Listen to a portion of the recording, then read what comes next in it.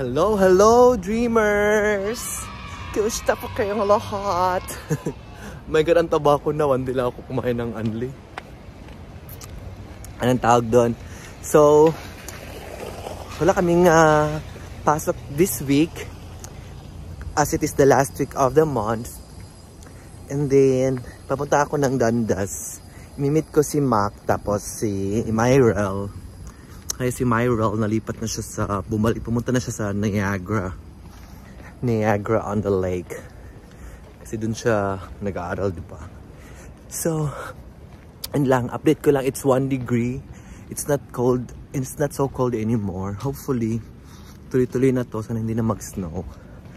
Para, welcome to spring na tayo. Oh my God. Hindi ako nakapag-vlog in a few days kasi tinamad, nagkasakit, tapos may mga ginawa, you know, um, parang personal time, ganon. Kasi nap napuno siguro ako ng stress. Ewan ko ba? Napuno ng problema or daming iniisip. Napuno ng uh, frustration siguro parang as I am challenging myself. Kaya, hindi ko na muna focus muna ako sa ibang bagay para mawala sa isip ng mga stress, ganon.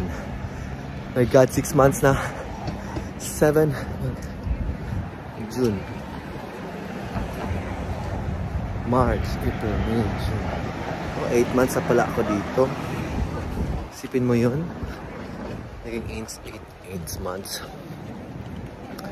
8 months na pala tayo. Ay, naming estudyante dito. Hello po sa inyo. o, dali lang. O, dali lang ako. Kailangan ko na bumili ng parang tripod. Mayroon naman akong tripod na binili or parang something like that. Kasi mahirap na ang lapit-lapit ng camera sa mukha ko. So yung buhok ko po, doon ko na sa work aayusin kasi, di ba kinaga, ginaganito ko yung hood?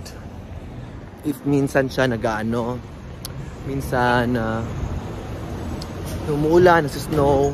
So nasisira yung buhok, yung style pala. Pag nasisira yung style, naisip ko yun na, doon na lang ako sa ano mag, ano, oh my god, madala pala akong sabaw. I-double check ko kung sab yung sabaw. sabaw sa likod. Baka natapon sa bag ko. Oh my God. Butsi ko na ba? Sige. Lakad muna tayo. Papunta ang train station. Tapos, travel ako dalawang station papunta sa Dundas. And we'll meet sa Mark and Myrel. Okay? See you there. Ayan, kasama ko na si Mac tsaka si Myrel. Kami mayaman na friend. Hi po. Tambay lang. Tambay-tambay lang siya, di natatrabaho, di kailangan ng pera. my God. Palipat-lipat lang siya Niagara, dito. Oh my God. Biyahe-biyahe lang siya sa Canada. Ewan ko, estudyante ba to? Alam mo lokal. Alam mo, Canadian citizen pala to. oh my God, andito kami sa City Hall. Kailan kaya mano yung ano, skating ring? Hindi ko pa na, oh, two times ko lang nagamit yung ano ko, eh, skate. Pabili-bili, hindi na pa nagagamit. Plus, si baby boy. Be. Ano kung iwan, be?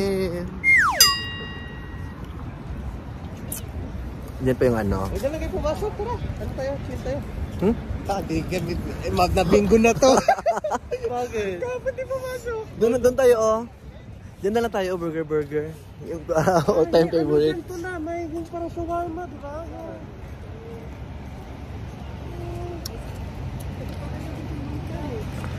Saan ba? San? Lang to, may nagkakayuan ninyo bakit namin. Yan sila, nag-skates po. Ramen na lang tayo, uy. Saan ba? Layo ng ramen. Parang meron dyan, di ba? Parang yung ramen. Nga. Meron. Yan ang mga Ukraine. Ukraine ba yan sila? Why are you the Ukraine, ano?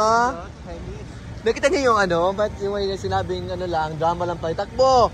Oh, tama kabunin sila, tapos binidyohan para yun ipakita sa social media. Nakita niyo yun? Ha? yun? Posible, dami patay ko. Yun nga, ano lang, pero baka ano lang yun. Just lang. Extras lang. Pero yung president nila, ano pala yung president nila, no? Yung, anong tawag doon?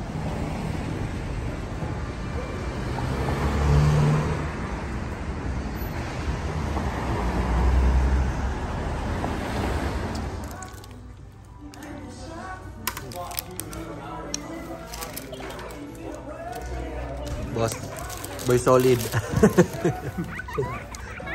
boy na Boy lost the lost boy. I'm here I'm here with my mahal. This mahal, dia. Wala. Paro-paro. Ay? Bawal kasi ka ano, kasi mga copyright yung ano, di ba, sa park. Oh, new phone, ha? Yes, hello.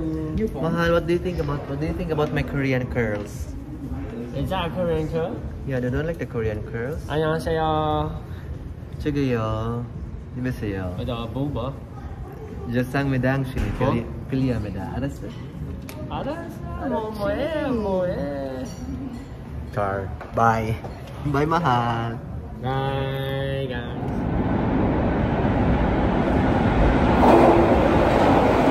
Grabe, nakakapagod sa duty. Kaya yan, hindi na nakapag-video si Vading.